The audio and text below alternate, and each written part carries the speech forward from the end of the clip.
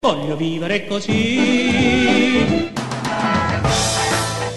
Iniziamo la nostra passeggiata per il rione Sant'Angelo. Ci sono tantissime leggende rispetto a questo posto, è vero Adriano? Sì, perché eh, la zona è quella che viene identificata dal mito come quella in cui eh, si arena la cesta con i due gemelli, eh, Remo e Romolo, che poi vengono accuditi dalla lupa. Eh, è la zona del Velabro, leggermente più a sud rispetto al, alla zona del, del, rione Sant'Angelo, ma comunque è, è, è proprio eh, adiacente a questo rione. La cosa interessante del rione, qualcuno potrebbe essere fuorviato dal nome perché con Sant'Angelo pensiamo Eh ovviamente a sì. Castel Sant'Angelo e quindi in una zona di, di Roma molto più a nord. Invece prende eh, il nome il rione da una piccolissima chiesa che è quella di Sant'Angelo in Pescheria, che si chiamava precedentemente in una maniera un po' meno nobile, cioè si chiamava di Sant'Angelo Pescivendolo, perché i romani come sappiamo erano sempre molto coloriti nel dare il nome ai loro po- luoghi. Perché? Perché lì si trovava il mercato del pesce, che era nato in epoca medievale. Quindi chiaramente ecco il, la- da dove proviene il nome di, questo, eh, di questa chiesa, Sant'Angelo in Pescheria, e, e quindi anche il nome del rione.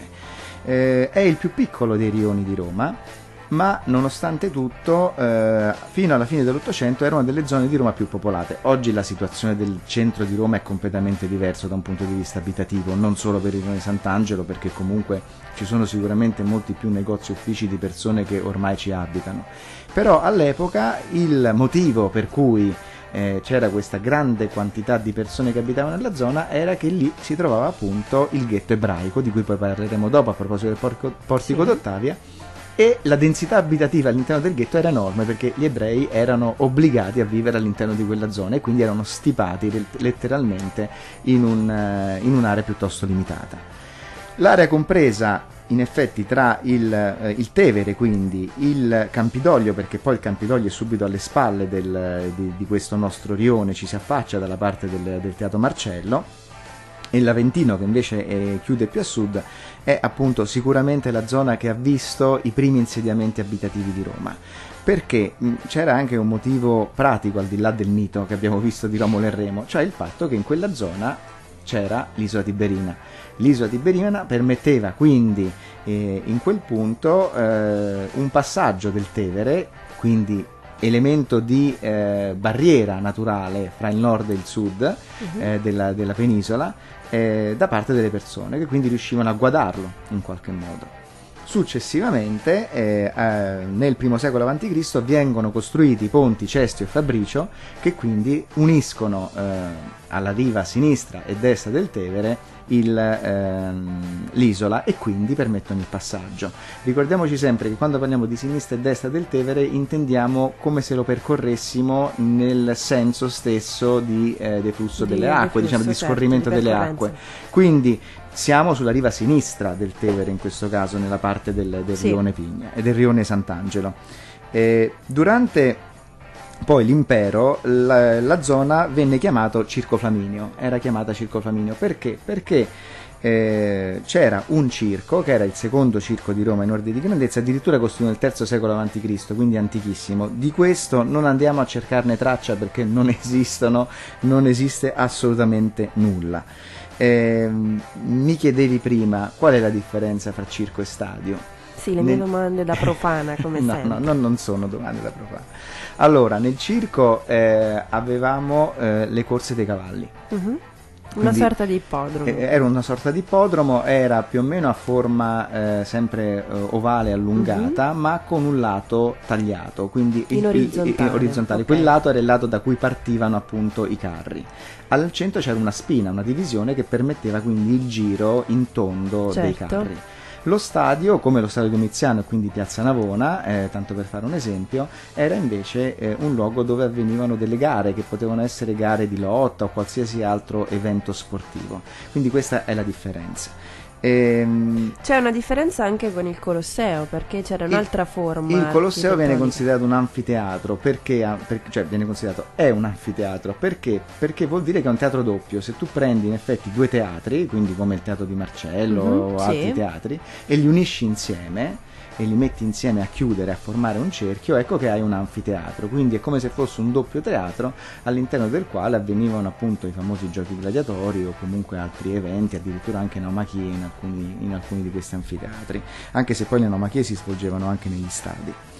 E l'area quindi intorno al Circolo Flaminio, siccome sorgeva vicino al Campidoglio e al Foro Romano anche, e divenne sicuramente un centro monumentale di Roma, questo fu Augusto che stabilì eh, di, di, farlo diventare un luogo molto importante e quindi c'erano molti edifici rap- proprio dedicati a rappresentazioni teatrali come il teatro di Marcello e quello di Balbo, uh-huh. poco vicino c'era anche il teatro di Pompeo, però andiamo fuori, fuori Rione, quindi poi l'affronteremo in uno dei fuori prossimi. Confine, esatto. Okay. E poi c'era un altro edificio importantissimo che era la Porticus Minucia. Perché la Porticus? Perché Porticus, queste sono le mie reminiscenze di, di, di, liceo classico, quarta declinazione femminile, quindi in realtà noi oggi diciamo il portico, ma per i, i romani Porticus era femminile invece. E quindi la Porticus Minucia eh, era il posto dove avveniva la distribuzione gratuita del grano. Mm. E ai romani il discorso famoso del panem et circenses a cui, che, che, che, gli veniva dato era praticamente, voleva dire che il popolo romano sarebbe stato tranquillo se avesse avuto il pane, e quindi il grano in questo caso, e dei giochi. Certo. E i giochi ce n'erano, ce n'erano in abbondanza appunto, nei vari anfiteatri, circhi, stadi che abbiamo visto. E quindi eh, in effetti della Porticus Minucia rimane poco, non, non, nel nostro rione esattamente, perché è dall'altra parte di Via delle Botteghe Oscure rispetto alla zona del nostro rione. Però se entreremo, come adesso poi faremo, nella cripta Balbi, nel museo della cripta Balbi, di fronte proprio all'ingresso della cripta Balbi vedremo queste due grandi colonne che partono sempre da un livello inferiore rispetto alla strada e quello è tutto quello che rimane della Porticus Minucia. È molto affascinante sempre questo aspetto um, secondo il quale noi camminiamo a livello superiore rispetto a quella che è invece la base reale di, di, alcuni elementi architettonici che noi vediamo intorno a noi. Esatto, in alcuni casi addirittura le direttrici principali di alcune strade rimangono uh-huh. e mhm, sono le stesse, sì. in altri casi vengono stravolte, in alcuni casi l'uso degli, degli spazi eh, rimane lo stesso, in, in altri casi viene stravolto per il centro di Roma quasi tutto è stato stravolto perché ovviamente dobbiamo immaginare il centro dell'antica Roma come una grande area monumentale per, per la maggior parte, c'erano tantissimi edifici importanti nel, nella zona centrale. Oggi chiaramente invece abbiamo palazzi che eh, la, per la maggior parte ormai hanno tombato per sempre mm. eh, la possibilità di eh, riuscire a ritrovare questi monumenti. Senti, nel corso dei secoli poi il Rione Sant'Angelo ha subito degli sviluppi sì. rispetto al suo, alla sua, a come ci appare oggi, ecco diciamo. Sì, è, è appunto quello che, che, stavo un po' dicendo, al di là del Circolo Flaminio che fu smantellato da Augusto proprio per creare quest'area monumentale, eh, ovviamente nel Medioevo, anche se c'è un periodo di abbandono, ma poi comunque eh, vengono realizzate nella zona tantissimi edifici anche di famiglie molto importanti e molto influenti, quindi i Caetani, i Mattei, i Fabi, poi queste cose le ritroviamo nel nome dei palazzi della zona. E, e l'evento poi che ha modificato profondamente il tessuto urbano, perché questi sono stati eventi che sono avvenuti nei secoli, quindi sono stati molto lenti Invece quello che ha modificato fortemente il tessuto urbano sono stati gli interventi eh, fatti durante il periodo del regime fascista. Infatti nel 26 tutto il quartiere intorno al teatro Marcello viene demolito per creare quella che, ven- che, era la via Ostiense, la via del mare, perché la via Ostiense partiva da sotto il Campidoglio, da sotto sì, alle scalinate sì. del Campidoglio e quindi questa grande strada che noi oggi utilizziamo eh, molto spesso appunto proprio perché ci porta naturalmente in centro e oggi ci porta ancora di più con la chiusura di via dei Fori Imperiali perché è praticamente obbligato il passaggio da quella parte per arrivare a Piazza Venezia eh, fu oggetto di un enorme sventramento e quindi eh, lì dobbiamo immaginare una serie di case accatastrate l'una sull'altra che si erano create nei secoli. E però questo ci, di, eh, ci permette oggi di vedere il Teatro Marcello nella sua bellezza completa e così fu anche l'intervento fatto lungo via delle botteghe oscure che era invece una strada molto stretta con delle botteghe, dei piccoli negozietti che erano appunto oscuri perché la strada era piccola e quindi poca luce filtrava e arrivava all'interno della strada. E nel corso della puntata continueremo a raccontare raccontare tutti questi particolari. Noi ci fermiamo per un istante e poi torniamo qui su Radio Yes. Voglio vivere così Allora, stiamo per entrare all'interno di una zona ben precisa. Sto parlando della cripta Balbi, che mm, ha delle caratteristiche molto particolari. E tu adesso, Adriano, ce le racconterai per bene. Sì, allora, eh, appunto, la nostra passeggiata virtuale, come dicevamo prima, parte da Torre Argentina, che è Mhm. fuori dall'area del, del rione. E quindi parte da nord e da nord scendiamo verso sud. Percorriamo via delle botteghe oscure, a sinistra vediamo appunto i resti della Porticus Minucia, queste due colonne, e ci infiliamo nel Museo Nazionale del Cripta Balbi. È un luogo forse eh, unico per comprendere appieno quel patrimonio incredibile che abbiamo e che si nasconde sotto i nostri piedi e che sarebbe visibile solamente eh, portando via tutti i palazzi moderni, ovviamente moderni, poi sempre palazzi magari del 500 e del Certo. 600, operazione che ovviamente è impossibile. Perché questo luogo è così particolare? Perché negli anni 40 del Novecento si decise di demolire un palazzo del 500, cosa che oggi probabilmente non si farebbe, non sarebbe proprio possibile Vero, fare. vero. All'epoca invece sì. E quindi si eh, isolò un, un isolato, un isolato fu completamente eh, demolito eh, con l'idea di costruirne uno nuovo. In effetti c'era come dire un- un'idea di speculazione edilizia. Però siccome da lì a poco scoppiò poi la, la seconda guerra mondiale, il progetto venne completamente accantonato. Per fortuna alla fine della guerra la mentalità era cambiata, i vincoli archeologici non permisero assolutamente di realizzare questo nuovo edificio e quindi apri- si aprì la possibilità per una straordinaria operazione di scavo e, e di studio dell'ambiente. Eh, la cosa andò molto per le lunghe, una- è stata una, una zona che è rimasta per anni abbandonata. Negli anni Ottanta il, eh, il professor Manacorda per 20 anni ha, dal, da partire dagli anni 80 ha eh, condotto gli scavi del- dell'area portando alla luce una serie di, eh, di strutture incredibili che stratificate ci permettono di andare un po' indietro nel tempo. Andando indietro nel tempo parliamo del perché di cripta, noi pensiamo come cripta a un luogo sotterraneo di una chiesa oggi, in Sì. effetti nell'antica Roma eh, cripta era tutt'altro, cioè era un luogo eh, che si trovava dietro a un, mm, a un teatro nel quale le per- porticato di solito con un giardino nel quale le persone camminavano, passavano un po' il tempo fra uno spettacolo e l'altro o prima o dopo di uno, uno spettacolo. C'erano anche probabilmente dei negozi, dei negozietti dove si poteva comunque ehm, prendere qualcosa da mangiare, riposarsi un attimo. Come Eh, mai si chiama cripta Balbi? Si chiama cripta perché appunto era il nome in- con cui i latini identificavano questo, Questo portico. tipo di era, era proprio E eh, Balbi? Balbi perché era Balbo che eh, eh, decise di, eh, di realizzare quest'opera. La cosa particolare, e adesso eh, appunto vedremo ehm, anche in che periodo, il personaggio era Lucio Cornelio Balbo e, e questo avvenne nel 13 a.C., quindi sotto Augusto. Era caratteristica dell'epoca che le persone molto ricche realizzassero degli edifici importanti. E era un loro dono alla città, era un modo anche per farsi, come dire, rispettare ancora di più, per farsi conoscere e, e per eh, confermare la loro eh, ricchezza e, e la loro importanza nell'ambito e, e nella struttura sociale della città. E, e questo accade anche con, eh, con il, il- il teatro mh, di Balbo, perché era un teatro, quindi il teatro di Balbo, che era il terzo per grandezza nella Roma antica, dopo il teatro di Pompeo e Marcello, tutti nella zona, era proprio una zona, come abbiamo detto prima, appunto, mh, che Augusto ehm, finalizzò a questo scopo.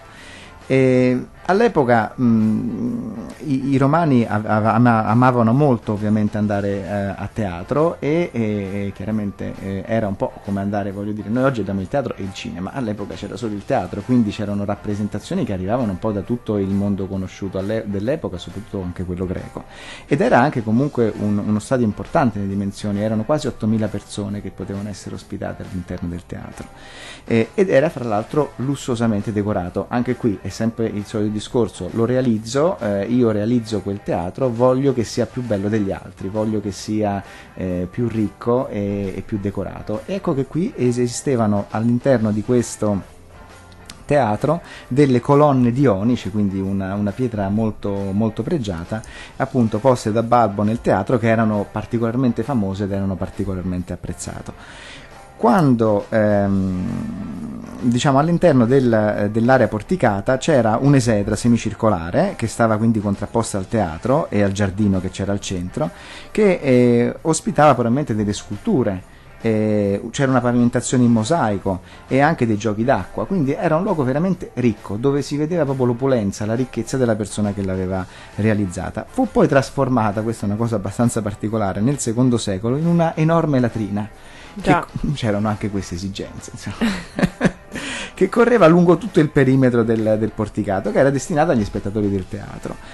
Eh, probabilmente, siccome poi c'era appunto la Porticus Minucia, quindi questo luogo dove c'è la distribuzione gratuita del frumento, non è da escludere che l'utilizzo della latrina fu anche concesso ai normali passanti di- per lungo quella che oggi è la via delle botteghe Perché le oscure. nicchie non avendo al loro interno delle statue, no? perché ancora non, non- ce l'avevano messe, ah, gli hanno dato l'idea di creare questa sorta di, di, di- di toilette. non so se adesso è, è per questo, è, è proprio esattamente per questo, però insomma fu, Interpretiamo fu utilizzato in, in questo modo e ancora oggi, eh, stranamente, nonostante i secoli, nonostante tutto quello che accadde alla zona, eh, la copertura eh, marmorea in parte, in piccolissima parte, è ancora rimasta e quindi si vedono queste classiche aperture di quelle che erano appunto le latrine, che ricordiamo erano un luogo anche di socializzazione. Cioè eh, all'interno di una latrina che non aveva divisione appunto Mhm. fra un, un cubicolo e l'altro, c'era questa lastra di marmo con tutte delle aperture e le persone si sedevano normalmente lì eh, per espletare i loro bisogni. E Quindi- chiacchieravano e amabilmente. chiacchieravano amabilmente, esatto, quindi questo è, è il discorso. Ora, la cosa interessante è che eh, con questi scavi noi vediamo la continuità d'uso che c'è stata durante i secoli eh, di quest'area, che comunque è vero che è stata comunque abbandonata, perché chiaramente è stata abbandonata durante probabilmente il V secolo, ma fu eh, utilizzata prima ovviamente un- nel momento proprio di nella- della caduta di Roma, perché appunto siamo V secolo, eh, viene utilizzata come luogo di- per buttare rifiuti e per, sepol- per delle sepolture. Eh, poi vengono costruite delle chiese, perché chiaramente inizia il cristianesimo, quindi eh, esistono delle chiese che vengono realizzate sopra questa struttura. Mhm. Eh, poi eh, una parte viene adibita a calcara. La calcara era un- praticamente stato uno strumento di distruzione della maggior parte delle opere marmoree di Roma perché lì si, andava a, no- si andavano a buttare statue o pezzi di marmo che eh, venivano eh, sottoposti ad altissima temperatura, quindi sbriciolando si creavano calce.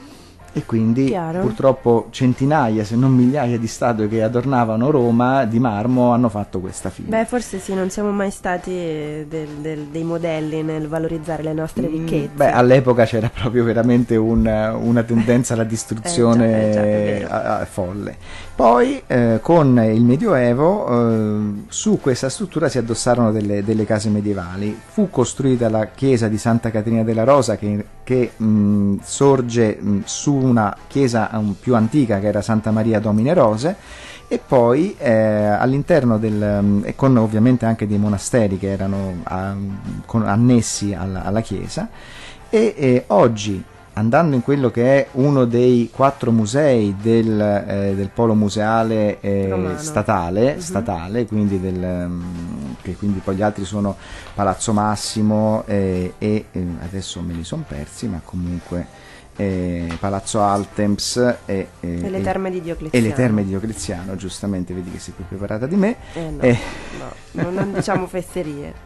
Questo eh, è sicuramente un, eh, il più recente fra questi Mhm. quattro ehm, e ci sono tantissimi eh, reperti di uso quotidiano eh, che sono usciti fuori proprio dal- da questo scavo. Quindi nel- durante lo scavo, anche fra l'altro con delle bellissime ricostruzioni grafiche che sono presenti all'interno, con questo scavo si è veramente eh, riusciti a ripercorrere 2000 anni di storia di Roma eh, in quel punto.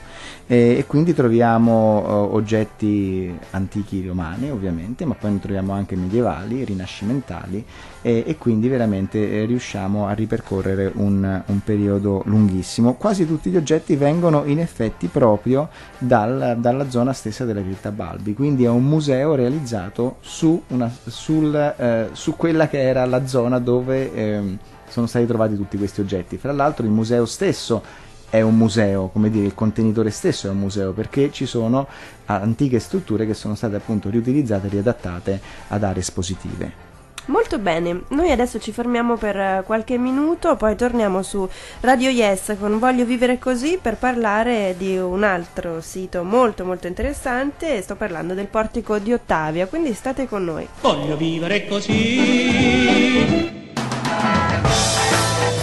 Torniamo su Radio Yes, state ascoltando Voglio vivere così e noi adesso parliamo del portico di Ottavia che era costituito proprio da un recinto porticato, ma descrivicelo meglio Adriano. Allora, penso che tutti abbiamo chiaro eh, la, la via del portico d'Ottavia, quindi quella che caratterizza il ghetto. Sì. E, mh, che cosa troviamo? Troviamo intanto la chiesa eh, di, ehm, di Sant'Angelo in Pescheria, che è quella che appunto dà poi il nome al al, al, al, al quartiere, Mhm. al rione. E poi vediamo una struttura che in effetti si appoggia eh, subito eh, di fronte alla chiesa stessa e una serie di colonne che eh, come dire, caratterizzano questa strada dove abbiamo no, forse fra i più famosi eh, ristoranti di cucina eh, giudea a Roma, quindi di cucina romana giudea.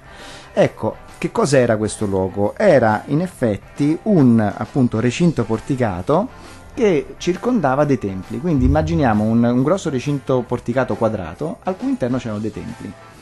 E come nascono eh, in effetti? Nascono con eh, il diciamo già del 179 a.C. quando un censore che era Marco Emilio Lepido decide di realizzare un primo tempio che è quello di Giunone Regina. Successivamente eh, uno dei metelli della famiglia dei metelli, quindi ricordiamoci di Cecilia Metella lungo l'Appia Antica, anche, di cui abbiamo anche parlato no? eh, in una Certo. delle puntate precedenti, eh, dopo aver eh, celebrato un trionfo sulla Macedonia, quindi su, su- su un popolo macedone, Mhm. fece erigere un altro tempio vicino al tempio di Giunone, in questo caso dedicato a Giove, statore, quindi Giove e Giunone. Che cosa succede? Che eh, il Tempio fu in effetti il primo edificio sacro costituito interamente in marmo a Roma. Quindi doveva essere un edificio molto bello e molto importante. Molto costoso anche. Sicuramente, ma ritorniamo sempre al discorso di prima. Io torno da una battaglia, da un trionfo, da una guerra, porto con me tutti i tesori sottratti ai nemici, una parte di questi tesori li, eh, mh, Regalo, li regalo in qualche Mhm. modo alla cittadinanza, alla città, realizzando un'opera particolare, fra l'altro approfittandone e ringraziando gli dei, costruendo un... Due un- piccioni con una fava, Esatto, come si suol dire. Esatto. Quindi ehm, alla costruzione sono, e questa è una cosa divertente, legati i nomi di Sauro e Batraco, che erano probabilmente gli scultori incaricati della sua de- decorazione. eh, che avrebbero, e questo ce lo raccontano ovviamente le fonti antiche, lasciate come firma la rappresentazione di una lucertola, che appunto in latino era Saurus, no? Mhm. e di una rana, che era Batracus. Eccolo che la loro firma, senza però scriverla, la lasciarono sul monumento. Molto carina questa cosa. Contemporaneamente eh, venne però anche ricostruito il Tempio di Giunone, che nel frattempo erano passati un po' di anni e quindi eh, dovevano essere rimessi un po' a posto. E vennero inseriti nel portico di Metello, perché fu Metello che realizzò appunto il, il Tempio di Giove. Quindi questo, questo recinto di portici su quattro lati, eh, ornato da opere d'arte, come al solito, opere d'arte greche in questo caso, sottratte eh, diciamo alla Grecia. Tra queste era celebre quella che veniva chiamata la Turma Alexandri, cioè erano 24 statue equestre dei compagni di Alessandro Magno che ovviamente erano stati eh, portati, eh, asportati come bottini di guerra eh, in Macedonia e che erano opera di Risippo addirittura. E di tutto questo non rimane nulla. Vi era inoltre esposta anche la statua di Cornelia che era la madre dei Gracchi e questa una particolarità fu la prima statua di una donna realizzata a Roma. Quindi una cosa eh, abbastanza particolare.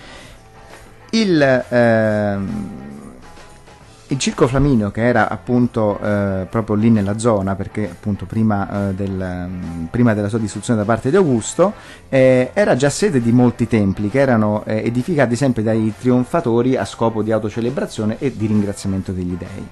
Eh, però in questo caso eh, è sicuramente il primo esempio di templi eh, racchiusi da lussuosi portici che permettevano alla gente di camminare, di, di fare anche ovviamente eh, del- degli scambi commerciali eventualmente, quindi era un luogo comunque di incontro. E chiaramente c'era dietro un'opera propagandistica dell'operazione. Chiaro. Quindi, e, e tutto questo viene poi rifatto anche dura- nei fori imperiali. Nei fori imperiali ogni imperatore vuole lasciare il segno della sua grandezza con il suo foro. Ehm, Oggi vediamo eh, abbastanza poco del, eh, come dire, di tutta questa, di questa struttura, perché sicuramente del Tempio non vediamo nulla se non eh, qualche fortunato come Carlo Pavia che, che abbiamo intervistato qualche, volta, Certo, qual- qualche eh, puntata fa, che eh, negli anni 70-80 si infilò in tutte le case della zona del ghetto e vide in effetti alcuni resti di queste colonne. Ormai i templi sono completamente inglobati nelle case della zona e quindi eh, ne rimangono resti appunto all'interno degli edifici o nei sotterranei di questi edifici, ma non sono ovviamente visibili. Certo, chiaro. Eh, mentre invece appunto del- di questo grande porticato eh, rimane in effetti eh, quello che, che vediamo, cioè questa parte esterna eh, che, eh, che oggi co- ehm, compone il portico d'Ottavia. All'interno del portico, utilizzando una parte del portico, nel Settecento viene realizzata la chiesa appunto di Sant'Angelo in, in Pescheria. Dentro quelli che vengono chiamati i propilei, i propilei erano appunto questi corridoi che si trovavano al di fuori poi dell'area dove c'erano i, i templi. E, ehm, Durante il Medioevo aveva un ruolo ben preciso il propileo. Me lo spieghi tu? Certo, perché ha ospitato proprio questo di cui stiamo parlando, mm, cioè il tempio di Giunone Regina, no? Ci stiamo Sì. spostando leggermente. Ha ospitato il mercato del pesce, di cui abbiamo parlato all'inizio, avevamo citato un po' Esatto. più o meno quello di cui avremmo parlato successivamente. Esatto, solo successivamente appunto nel, eh, nel Medioevo eh, qui eh, la zona poi fra l'altro si prestava perché, non l'abbiamo detto nella nostra introduzione, ma qui ci troviamo nella zona dove c'era il foro Boario che era il mercato della carne e il foro Litorio che era il mercato della frutta e della verdura. Forse seguendo in qualche modo un utilizzo nei secoli, ecco che qui nasce il foro Piscario cosiddetto che appunto era il foro de- de- dove veniva ehm, con- come dire, contrattato e- e venduto il pesce. Una cosa particolare è quello che c'è una lapide eh, in cui eh, c'è un'iscrizione che dice le teste dei pesci più lunghi di questa lapide, pinne comprese, devono essere date ai conservatori. Era in qualche modo un, come dire, un balzello che si doveva pagare ai conservatori, per cui eh, certe determinate eh, parti del, del pesce devono comunque essere dati a, a questi personaggi. Poi fu spostato dal portico d'Ottavia a piazza San Teodoro, in effetti in tempi recentissimi, cioè dopo l'unità d'Italia, nel 1880, circa nel 1885. E pensa quindi per quanti anni, dal Medioevo, per quanti secoli, eh, ebbe questo compito. Va bene, andando avanti lungo la nostra passeggiata, che cosa possiamo raccontare ai nostri ascoltatori? Ma diciamo che eh, qui eh, il, ehm, la, la chiesa è sicuramente vale la pena vederla e vale la pena anche ehm, passare eh, e così andremo eh, poi al successivo eh, edificio da- che, che andremo a vedere che è il Teatro Marcello, passare proprio all'interno dell'area archeologica che è normalmente aperta, è una passeggiata che si fa, è gratuita perché non è che si paga nessun biglietto, proprio da di fronte alla chiesa di Sant'Angelo in Pescheria ci sono delle scale che permettono di scendere all'altezza del Teatro Marcello e quindi da lì camminare e, e sbucare su via del Teatro Marcello proprio al di sotto del Campidoglio. È come dire un bel taglio, ma è un taglio eh, che si riesce a fare in una zona eh, piacevolissima dove eh, è veramente una passeggiata che ci manda indietro di secoli eh, alla nostra Roma eh, appunto del periodo imperiale. Ok, io direi che possiamo passare al prossimo, al prossimo argomento, vogliamo soffermarci ancora un po'. Ma io direi che l'argomento del, del- del portico d'Ottavia è, è con questo esaurito. È sempre nel- con il nostro modo, come dire, veloce e non troppo pesante di, di fare, di fare questa trasmissione, di impostarla. E quindi possiamo poi eh, parlare del Teatro Marcello. Va bene, allora diciamo a tutti gli ascoltatori di restare con noi perché stiamo per entrare nel Teatro Marcello. Assolutamente sì. Voglio vivere così.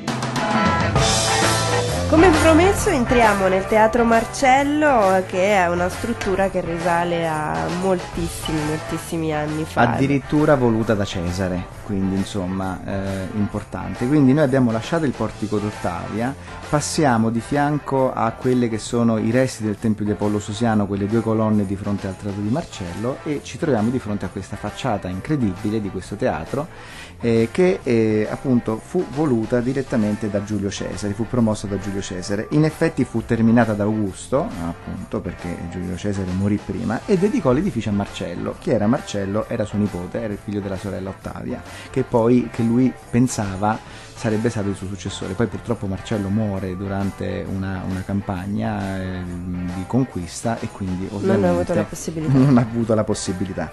Eh, il teatro era capace di 14.000 persone, quindi era eh, un teatro molto molto più grande di quello di Balbo, praticamente il doppio, e eh, aveva eh, una facciata esterna composta da 41 arcate, sono quelle che vediamo ancora oggi. La cosa particolare è che poi a un certo punto divenne una rocca di difesa, cioè nel eh, Medioevo e poi nel Rinascimento si pensa di strutturare al di sopra del teatro e su quella che era la cavea, che quindi era dall'altra parte, sulle gradinate e sul, del, del, del teatro, eh, degli edifici che hanno quindi una posizione ovviamente predominante e, e, e di controllo. Uh-huh. E qui si susseguono tutta una serie di famiglie nobili dell'epoca nel, de, di, di, della Roma di quel periodo, quindi Pierleoni, Savelli e poi gli Orsini. Una cosa eh, particolare è che in effetti esistono in qualche modo dei sotterranei, cioè ovviamente il Teatro Marcello è a un livello più basso rispetto alla strada attuale di Teatro Marcello e fino a eh, quelli che furono poi appunto gli sventramenti eh, del periodo fascista, in effetti le arcate del piano terra che vediamo si vedevano solamente a metà perché il resto era interrato. Chiaro. Quindi furono svuotate uh-huh. e la cosa particolare è che all'interno di questi lunghi ambulacri, corridoi interni che quindi davano accesso al teatro, eh, ci sono, eh, ce ne sono due in particolare che hanno delle vol- le volte eh, mh, con, eh, decorate con degli stucchi splendidi perché solamente quelle due? Si è capito che probabilmente quello era un po' l'ingresso, come dire, di rappresentanza da cui entravano le persone più nobili che avevano accesso al teatro e quindi erano state decorate in maniera particolare. Infatti tutte eh, le altre gallerie che permettono di accedere al teatro non hanno questi stucchi molto belli quindi eh, fra l'altro eh, esistono delle visite guidate che vengono promosse nella zona della, del Teatro Marcello e quindi c'è la possibilità di vedere proprio queste, queste gallerie. È la cosa più particolare che abbiamo nel teatro. E, proseguendo la nostra, la nostra visita, eh, scendiamo sempre più verso, diciamo, verso sud e a pochissima distanza, in effetti, troviamo la chiesa di San Nicola in carcere che si trova all'angolo di via del Teatro Marcello eh, con poi l'inizio di, di, via Petroselli e Vico Iugario. E la chiesa si vede già guardandola da fuori che ha qualche cosa, come dire, di molto antico, perché si vedono sulle facciate della chiesa delle colonne. Uh-huh. Queste colonne sono eh, le colonne di tre templi. Quindi sono chiamati i tre templi del Foro Olitorio, quindi era la zona del mercato della frutta e della verdura, e, e, ed erano eh, costruiti molto molto vicini uno all'altro, praticamente quasi attaccati, ed erano dedicati uno alla Speranza, uno a Giunione Sospita, cioè Giunione Salvatrice, e l'altra a Giano. Eh, costruite eh, in epoche diverse, ma insomma fra il 250 e il 150 a.C., in momenti diversi. Però aveva una particolarità, erano tutti assolutamente allineati su un fronte unico e, e, ehm, e quindi la chiesa che poi si è insta- installata sul, ehm, sul, su questi tre templi ha utilizzato le facciate esterne dei due templi più eh, diciamo ai lati e ha utilizzato completamente il tempio centrale per installarsi proprio al di sopra di questo. Oggi è possibile scendere all'interno dei sotterranei della chiesa e quindi osservare che cosa? Solamente il podio, in effetti, del, eh, della, del, de, dei templi perché del resto non rimane nulla anche se appunto le colonne sono comunque visibili eh, nei muri perimetrali esterni del, della chiesa quindi anche semplicemente passeggiandoci intorno potremo già apprezzare e capire il perché di questo non sono colonne spostate e riutilizzate sono colonne che si trovavano in quel punto quindi fu come dire, tratto vantaggio, si, si, si, trasse vantaggio da quelle che eh, erano delle, delle, strutture già preesistenti. Quindi nei sotterranei possiamo in qualche modo ripercorrere quegli stretti vicoli che separavano i, te, i tre templi. I, quello conservato meglio era, è la base del tempio di Giunone, che era caratterizzato da alcuni piccoli ambienti coperti a volta e, ehm, che si sviluppavano lungo gli assi maggiori del tempio. Questi piccoli vani in effetti al momento della scoperta alimentarono la leggenda di un carcere. Mm. Ecco perché San Nicola in carcere, certo. questo è il nome. Uh-huh. E, e dovevano invece essere utilizzati probabilmente come uffici di cambiavalute che operavano in quella zona proprio perché lì c'erano tantissimi commercianti che erano appunto abituali, abituali frequentatori del, del, foro Litorio, quindi della, dei templi del foro. Perché ricordiamoci sempre che eh, i, ehm, i, templi avevano proprio una funzione anche legata molto spesso ai viaggi, al commercio, quindi eh, ci, e, e, comunque agli scambi commerciali, c'era, c'era come dire una divinità per tutto. Ecco che eh, anche, lo ricordavamo esatto, sì, la scorsa volta. Anche cioè. in una zona di, eh, di, commercio, di attività, dove forse un, un, luogo di preghiera sembra essere strano, eh, invece avevano comunque il loro, il loro motivo d'essere. Anche forse la densità no, della popolazione in quel luogo, visto che c'erano. Sicuramente tante, era un luogo tanti, frequentatissimo. esatto. Sì, sicuramente. Ora, ehm, il, eh, quindi scendendo noi riusciamo a osservare ancora i grandi blocchi del podio del santuario.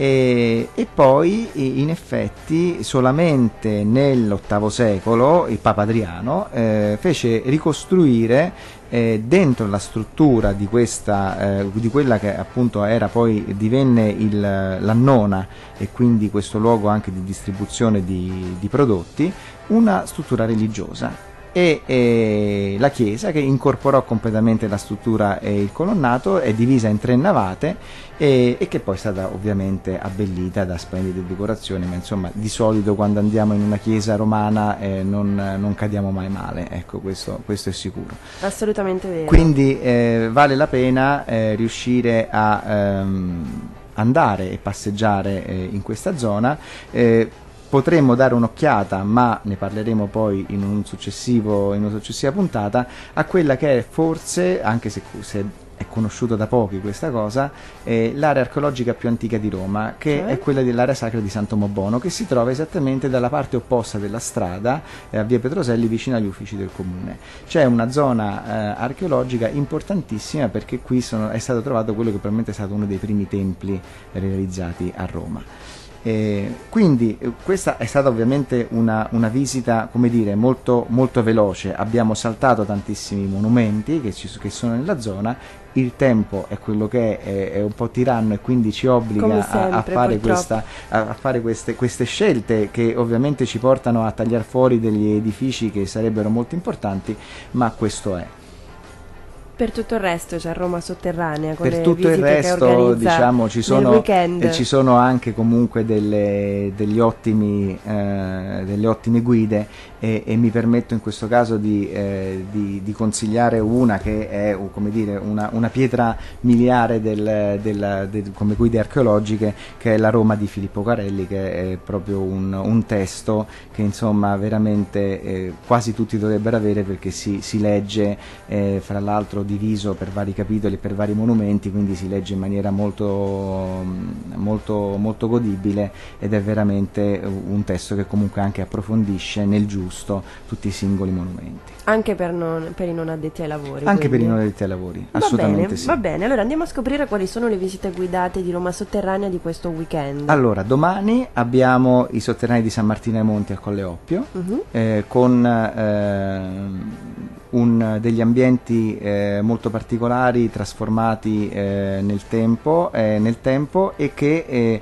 eh, dovevano far parte di, un, di una struttura pubblica. eh, ve lo spiegheranno benissimo le nostre guide e, e comunque è, è, un luogo che non molti conoscono, è un luogo sotterraneo non Vero. molto conosciuto. Mm-mm.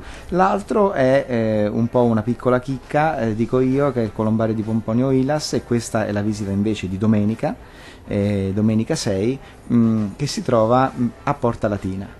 Eh, quindi, eh, fra l'altro, c'è l'occasione di vedere la bellissima chiesa di San Giovanni a Porta Latina che è proprio lì di fronte e, fra l'altro poi, se sarà una bella giornata, ma non si sa, non sembra che sarà un'ottima giornata questo weekend. Non, non domenica sì, sabato no. Allora, allora però io, domenica... allora io avevo letto solo invece per domani. E quindi... Ehm, eh, c'è la possibilità a questo punto di fare anche una bellissima passeggiata perché comunque c'è questo parco all'interno del quale c'è questa piccola casetta, eh, questo piccolo edificio con una porticina in ferro e lì scenderemo all'interno di questo piccolo colombario, quindi un edificio funerario piccolissimo, privato, di una, di una famiglia, appunto, il cui capostipite era questo Pomponio Ilas che volle il, um, questo monumento e che è decorato con dei, degli stucchi splendidi, colorati e anche da pitture e, e, e, e mosaici. Benissimo, allora mh, Adriano, non mi resta che salutarti perché noi ci rivediamo e ci risentiamo la settimana prossima. Perfetto, con molto piacere. Grazie mille, Adriano Morabito di Roma Sotterranea. Noi invece ci risentiamo lunedì perché Voglio vivere così torna la prossima settimana sempre alle 14.30 da Eleonora Silvi un buonissimo pomeriggio e ricordate che questa è Radio Yes. Voglio vivere così